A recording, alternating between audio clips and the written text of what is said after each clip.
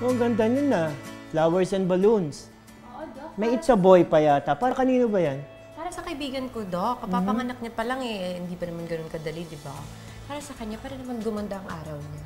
Tamang-tama nga kasi alam mo ba, marami yata ngayong nanay na talagang dapat alagaan sa pagbubuntis. Marami kasing ah, dapat pag-usapan tungkol dyan eh. Lalong-lalo na sa safe motherhood at in time na rin para sa ating ah, Mother's Day. Di ba? Kailangan-kailangan talaga kayo, mga babae, mapangalagaan ng sarili, lalo na sa pagbubuntis. Andyan na yata yung guest natin. Sandali lang.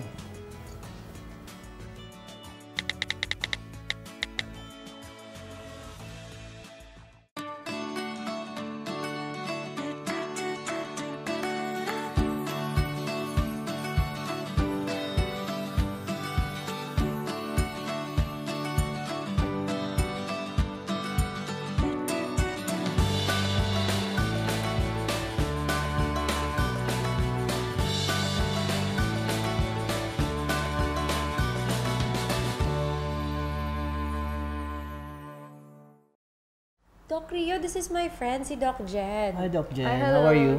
I'm good. I'm good, Doc. Nice to meet you. Alam mo kasi, Doc, marami akong gustong itanong kay Doc Jen ngayon about sa pagbubuntis. Kasi yun nga, di ba, yung, ano, yung friend ko kakapanganak pa lang. Oh, mukhang usapang babae nga yan, eh, pero maki-join ako. Oo ah. naman, Doc. Okay Meron lang. nga ako isang tanong eh, unang-unang tanong, Oh, Doc sige. Jen. Kasi sabi ng matatanda, pag daw nagbubuntis, yung isang paa nasa hukay na. May mga risk factors ba ng ah, pagbubuntis at ano-ano mga ito mula sa paglilihi hanggang sa panganganak niya? Mm, actually, tama yung sinabi mo, Doc, na pag nagbuntis ka, parang nasa hukay na yung isang mong paa. Kasi nga, maraming ang risk factors to. Even pagka, ano pa lang, even hindi ka pa nabubuntis, nandyan na yung mga may mga dati nang may diabetes, may mga hy- hypertension, yung mga matataas ang blood pressure na nahihirapan magbuntis dahil kumbaga komplikado na to, to begin with yung ano eh, yung sitwasyon nila eh. So importante 'yon na maaga pa lang nagpapa-check up na sila. So pag buntis ka naman kasi nga nagbabago yung katawan ng babae dahil sa pregnancy hormones at saka yung mga kumbaga changes talaga sa katawan ng babae.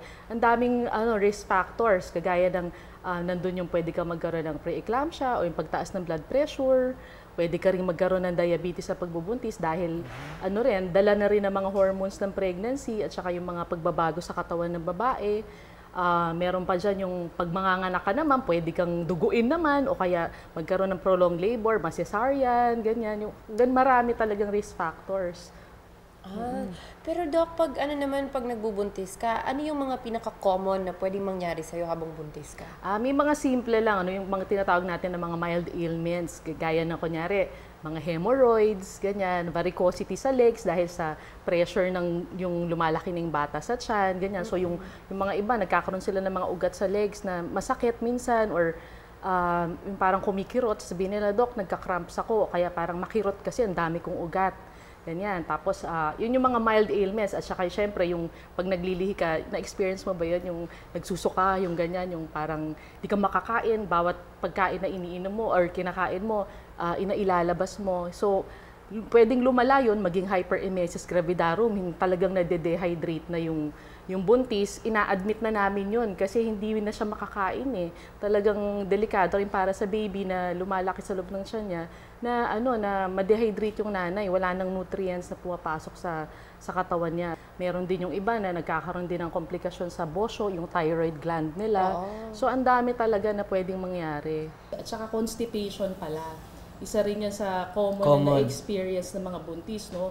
So sabi mo, ah, syempre, dapat kumain sila ng gulay, ng mga prutas, gaya ng papaya, yun, minom na maraming tubig. So, kumbaga parang madali lang naman i-modify. Kumbaga, medyo ano lang kasi mga buntis eh, parang kasi buntis ako, parang pwede akong mag, mag-inarte sa asawa ko. Yung Puro excuses sila, di ba? Minsan. Minsan, Dok, di ba? Ganon, sabihin, ah, kasi ganito, parang kailangan ko ng ganito, ganyan. So, Ayun, yun ang gusto ko itanong sa'yo, Doc. Kasi marami naman, di ba, mga nagsasabi naman, kasi pag nabuntis ka, marami na agad, oh, bawal to, bawal to, bawal to, pwede ka dito, pwede ka dito. So, ano ba nga talaga yung mga, mga pwedeng kainin at hindi pwede kainin ng mga, Mga do's and don'ts natin sa mga nagbubuntis. Actually, ano naman eh, pag sa pagkain, lahat naman pwedeng kainin. Pero importante lang, ano, in moderation. Kumbaga, konti nito, kunyari, kakain ka, dapat may gulay, may, may prutas, tapos meron din yung mga carbohydrates, gaya ng kanin, o kaya ng mga tinapay. Tapos syempre yung mga protina rin natin galing sa mga meat products, isda, ganyan. So pwede namang kainin kahit ano. Well, medyo inaano ko lang na bawal kumain ng mga raw foods. Like yung mga Ay, sushi. yung mga sushi. Yung mga ganon. Kasi ano yun eh, di ba? Hindi pa na, hindi niluto Hindi yun eh. So, Raw. pwedeng magkaroon ng ano, ng makakuha ka ng mikrobyo, ganyan. So, basta Yung hilaw na karne. O yun, hilaw na karne, hilaw na isda. Yun yung Ah. mga medyo inaano natin na bawal kainin. Pero for most part talaga pwedeng kainin lahat. Pero in moderation ha. May In ano ka dyan, yun ang ano, in mo- moderation, yun yung doc, di ba? Kasi pag buntis ka, sinasabi, oh, you're eating for two, kailangan doble ang kinakain mo. Oo, eh, yun Totoo nga, ba yun? Yun ang misconception. Kasi actually, pag buntis ka, kailangan mo lang dadagdag na 300 calories, kilocalories.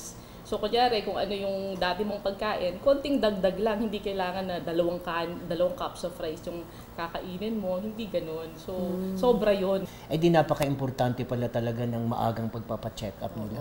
Tama yun, Doc. Tama. Kasi ano eh, um, sa check-up, mas maaga natin na detect kung ano man, kung kunyari meron siyang mga komplikasyon sa pagbubuntis, mas maagang na detect So naaagapan, nabibigyan ng gamot kung kailangan, napapatest kung para sa nanay man yun o para sa bata.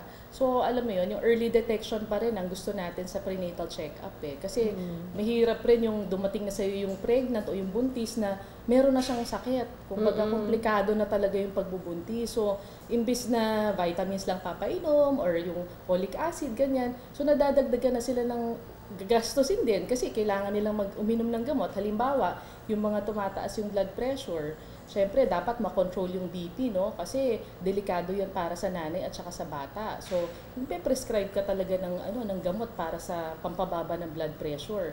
Kasi may isa pa talaga akong tatanong sa'yo, Doc, kasi pinag-usapan na natin yung pagbuntis ka. Eh, Oo. y- yung what about after, pagpanganak mo, may tinatawag na postpartum depression. Ay, oo. Na minsan, inisinasabi lang natin, ay, ina, nag-inaarte lang Nag-inaarte yan, lang. gano'n, gano'n. So, ano pa talaga ang postpartum depression? Talagang importante ba siya? Or, you know, ano lang yan?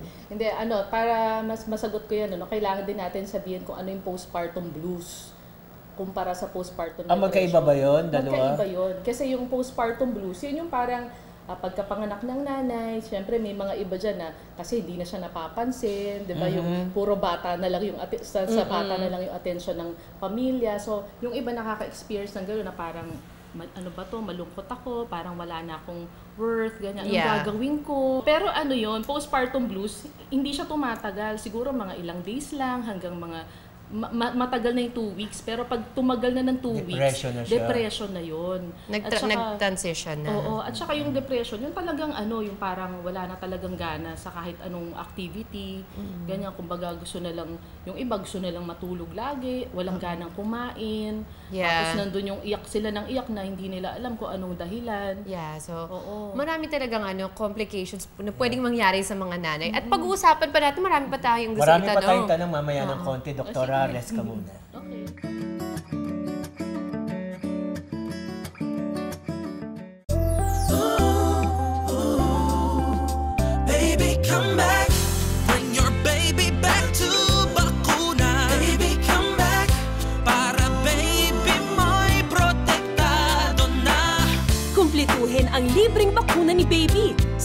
Lang ang schedule sa immunization record niya. Baby, come back. Come back to bakuna. Come back to Bakuna. Back to your health center. Problemado ka, kaya susubo ka. Pinipressure ka ng barkada, kaya ka nagpapadala. Illegal na droga, wag nang subukan. Ang mga ito ay nakasisira ng kaisipan at kalusugan. Tandaan, wala sa umpisa o sa gitna, kundi na sa huli ang pagsisisi. Sa droga, talo ka. Achieve ang pagbabago.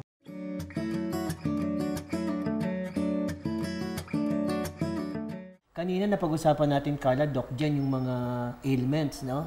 Ano ba yung komplikasyon ng mga ailments na to kung hindi siya nadadiagnose agad o kaya ay hindi nagagamot? Oo, sige. Bigyan kita ng example, no, kagaya ng pre-eclampsia. Ah, yun yung pagtaas ng blood pressure ng, ng nanay, ano, na sobrang taas, pwede siyang magkaroon, magkumbulsyon. Isa yon. Pwede rin siyang magkaroon ng stroke. Kumbaga puputok ang ug- ugat sa ulo.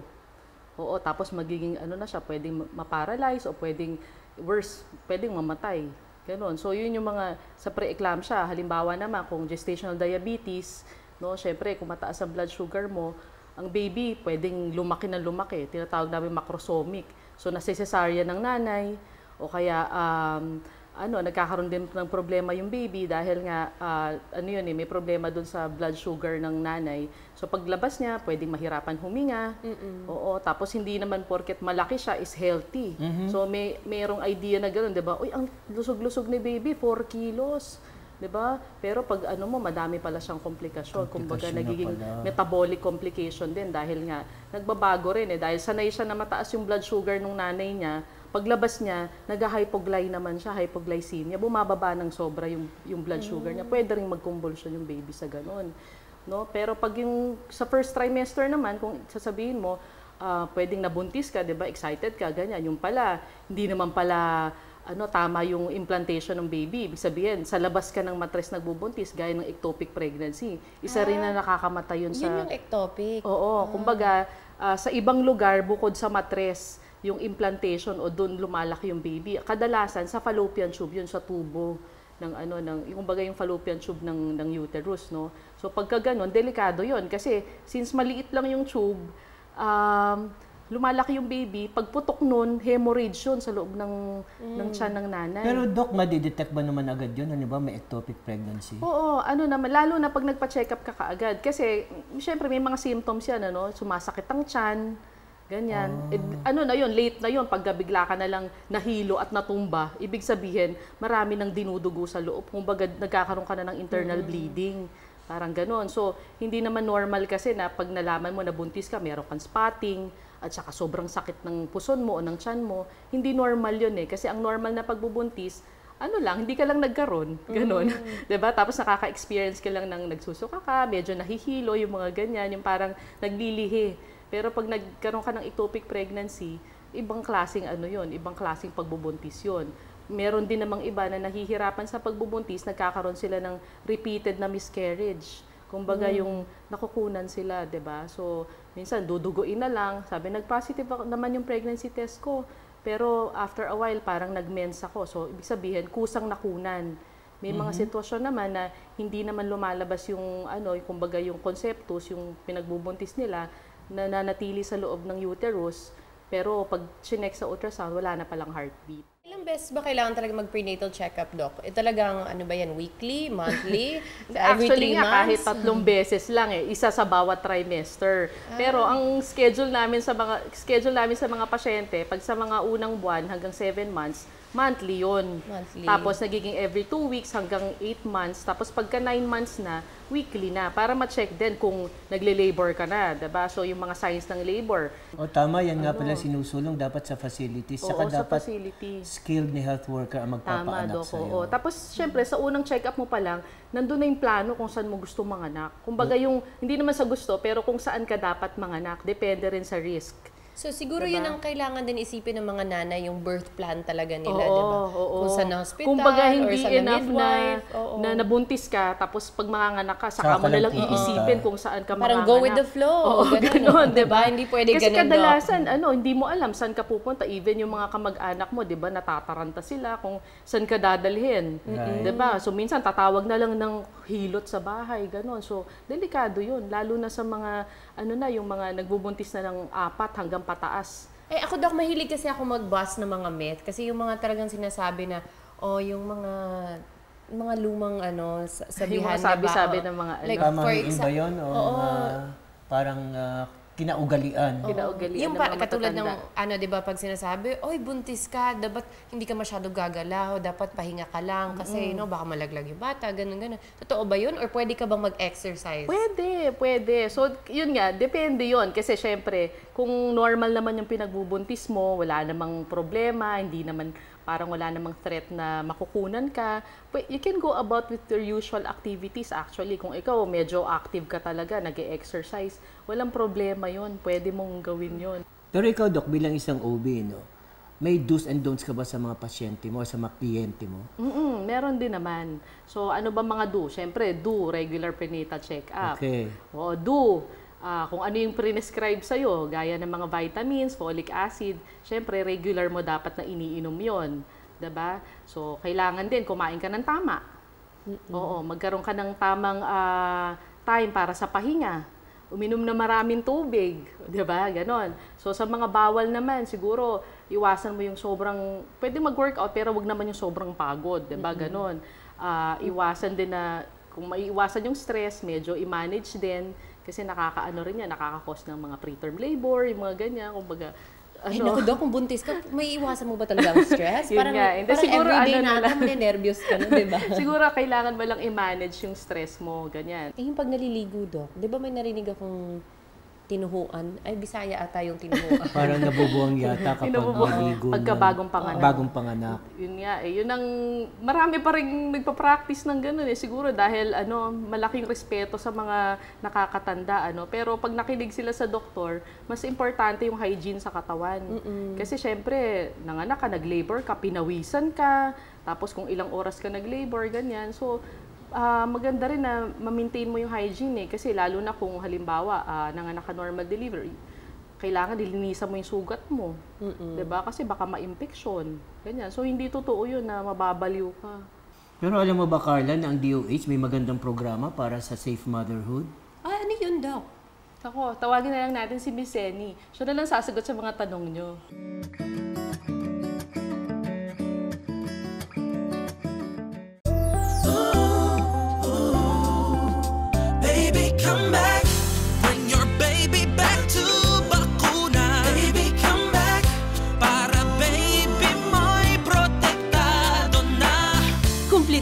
ang libreng bakuna ni Baby. Sundin lang ang schedule sa immunization record niya. Baby, come back. Come back to bakuna. Come back to Bakuna. Back to your health center. It's not true. Hindi lang para sa mga hirap sa buhay yan. Yung nabubuong bond. Priceless. Hindi siya sakitin. Cute nga eh. It's the best source of nutrition para kay baby. Sinunod ni Doc yung wish ko, yung unang yakap. When I held him, naiyak ako. Wala talagang tatalo sa breast milk. Join us. Breastfeed your baby. The best pa rin ang nutrisyon galing sa nanay.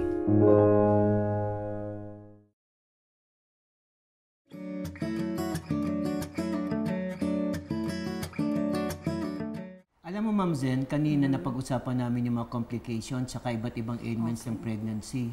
At ang dami naming natutuhan. Pwede ba namang i-share mo kay Carla at sa akin din kung ano ba naman yung mga statistics na related din sa pagbubuntis dito sa ating bansa? Noong 2015, may nai-record yung program na mga 1.7 million deliveries. Okay. So let's say na lang roughly there are 2 million deliveries in the country because not all of them are reported to us, to the program. We're happy to note na yung outcome of pregnancy has uh, improved, which means that the behavior of women also improved through the years. Sa ngayon, ang nakuha namin na datos, 74% of our women have at least four prenatal care. So, ibig sabihin, bago pa sila magbuntis, pinaghahandaan nila, nagpapa-check up sila, pumupunta sila sa mga health centers. That's 74% and that's a lot. It used to be 54% only. And then, when we talk about facility-based delivery, kasi yan yung panawagan ng DOH na para ligtas ang pagbubuntis at paganganak, pumunta sa mga health centers at manganak sa mga lying-in centers o kaya ospital. Ang datos pong nakuha namin in 2015, 81% of our women already gives birth in a health facility. So gumaganda naman yung landscape. Merong pagbabago dun sa ugali ng mga tao. They now come to us, to the health facilities, to consult and to give birth. Um, but if you ask me, eh kumusta naman yung maternal mortality natin? Ah, marami pa bang Pilipinong nanay na, na namamatay due to pregnancy-related ailments? Marami-rami pa rin po. In fact, I will say that we have not translated these outcomes into maternal mortality reduction. Related to that, Ma'am Zen, Yes kung po. bibigyan natin ng mukha yung mga namamatay, Opo. ito ba ay mga may edad na, bata, or walang pinipili? Actually, kasi ang edad natin dun sa ah, women of reproductive age, although technically, pag reproductive age, ah, ang age range natin is from 10 years old to 49 years old. Kasi nag-minark na yung 10.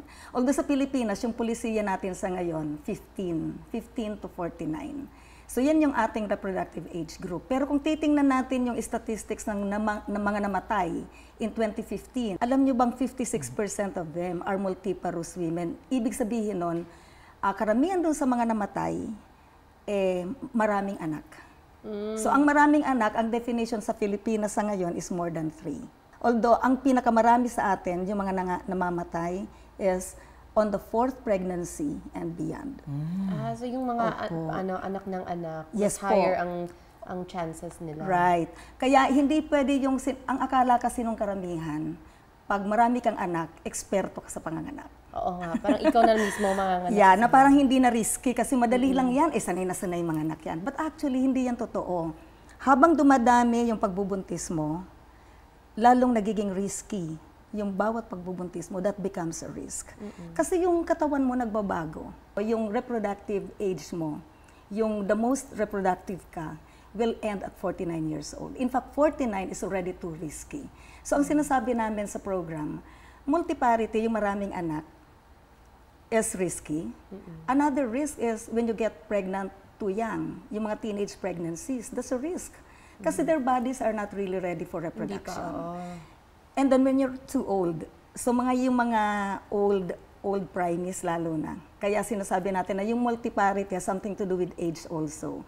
Kung masyado nang matanda, marami na siyang napanganak. That becomes risky too. Pwede rin yung 40 years old, first pregnancy. That's also risky. So yung age is a risk. Ang, ang nakita rin namin na dahilan, meron din kinalaman dun sa ah, ayaw na nila kasing magbuntis. In six cases that we reviewed in one province, four of them had abortion. And we know that abortion is illegal in this country. So, DOH, yung the health system cannot offer safe abortion. What we have now are really unsafe abortion. Kasi ang gumagawa nun, hindi naman mga health professionals.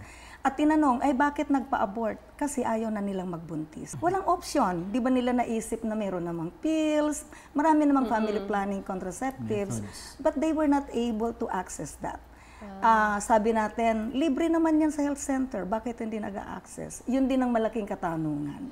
Speaking of mga Yes. libre na pwede i-access sa health centers, Ms. Ed, ah, ano nga ba yung mga programs na ng DOH ngayon para sa mga babae na nanganganak? Ah, para sa mga nanay. Well, we actually just have one, and this is the Safe Motherhood Program. Ah, everywhere in the country, they, there's a Safe Motherhood Program. Kasama dun sa package ng Safe Motherhood Program, yung prenatal care. Alam na alam ng mga nanay yan. Ah, they would come for check-up pag buntis na sila.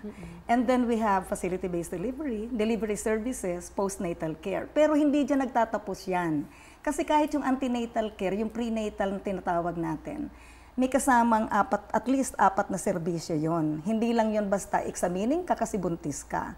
Bibigyan ka rin ng counseling on family planning. Kasi nga, di ba ang batas nga natin, ang titulo, responsible parenting and, respa- and uh, reproductive health. So ang kasama doon, responsa- responsible parenting, pagiging responsabling magulang. So may counseling services right at the prenatal care session.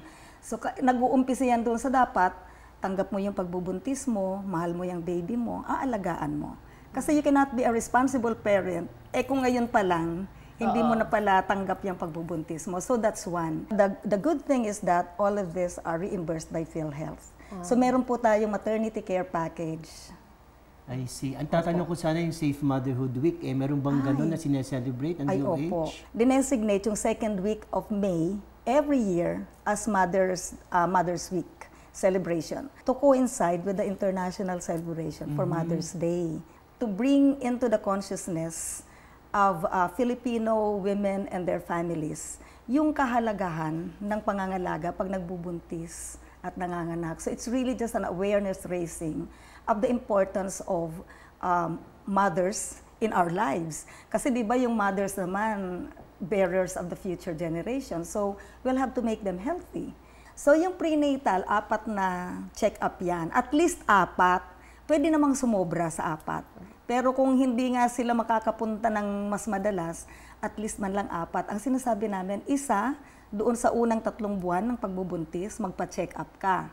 Yung another check up, na isa rin lang sa second tatlong buwan. At yung dalawa, sa last na tatlong buwan na may pagitan ng dalawang dalawang weeks. So yan yung schedule ng pag, pagpapaprenatal para malaman natin. In fact, ang prenatal, hindi naman namin sinasabing magpa-prenatal ka lang para ligtas ka. Kasi wala namang guarantee. Ang prenatal kasi, ah, hindi lahat ng komplikasyon ng pagbubuntis at panganganak ay pwede namin makita sa prenatal. Ang minsan, nakakatakot naman. Ang dami talagang complication pag mabubuntis Hindi, ka, pero no? di ba preventable naman siya? Preventable. These are all oo. preventable. Kaya nga kailangan yung apat na sinasabi Right. Kasi beses. sabi namin, apat namin man lang kayong ma- beses na makita. At least. At Para- yun ang magiging kampanya niyo sa Safe Motherhood Yes Week. po, sir. Yes. Ay, mukhang napakaganda Oo. ng Safe Motherhood Week niyo. Talaga. At ang dami kong tanong sa'yo, Miss Sen. Pero alam mo, Okay. meron may gusto pang magtanong sa'yo. Okay. Meron akong friend dito na may isang knock-knock sa'yo.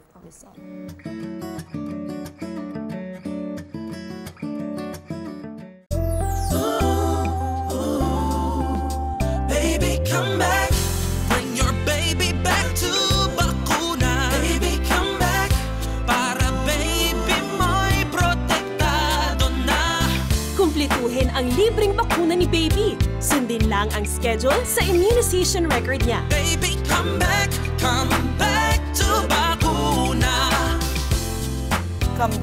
Bakuna. Back to your health center. Aga akong naghahanda. Pero hindi para pumasok sa eskwela.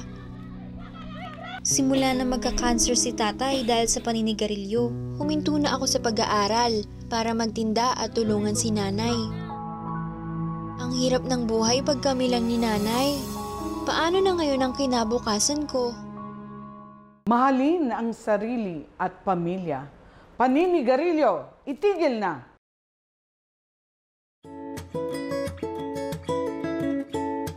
Knock knock, Doc. Who's there? May dalawang questions po ako tungkol sa pagbubuntis. Totoo po bang ang paglilihi kung anong kinikrave mo ang magiging kamukha ng anak mo? At totoo po ba na bawal magpagupit ng buhok at bawal tumayo sa ilalim ng hagdan at door frame ang buntis para hindi ito mahirapan sa panganganak? Okay, dun sa pagkikrave ng pagkain, wala namang kinalaman yun sa magiging itsura ng anak mo. In fact, yung craving, nang nangyayari yan during the first three months of pregnancy. Eh. Kasi yan yung naninibago ka sa pagbubuntis and therefore gusto mo, meron kang nagkikrave ka sa mga pagkain katulad ng mga maaasim o kaya yung iba naman matatamis, yung iba nga maaalat. So ang advice namin, yung crave, pagbigyan kasi gusto mong kumain, pero wag lang masobrahan. Kasi kung maalat yan, baka magdulot ng hindi magandang komplikasyon. Kung sobra namang tamis, baka magka-diabetes ka. Joke lang. okay, and then, um, pero pwede, dapat kumain ng tama habang nagbubuntis. So, wag kayong maniniwala na kung ano yung kinain mo, eh may kinalaman yan sa magiging itsura ng anak mo. Yung pagtayo sa ilalim ng hagdanan, hindi rin yan totoo. Pwede kang tumayo kung saan mo gustong tumayo, pero mag-ingat na hindi ka mauntog. Um, yung pagpapagupit, okay rin lang yan, magpagupit ng buhok para maganda ka habang buntis ka. Thanks, Doc. O, ayan, narinig mo na mga kasagutan ha. Kaya wag na wag kang basta maniniwala sa mga pamahiin. Kaya wag matakot, wag magpabaya, wag i-delay kung may kinalaman sa inyong kalusugan. Always remember, laging makitrending dahil ang healthy lifestyle ay laging nasa uso. Kaya magkita tayo dito sa The Doctor is In dahil wellness is in.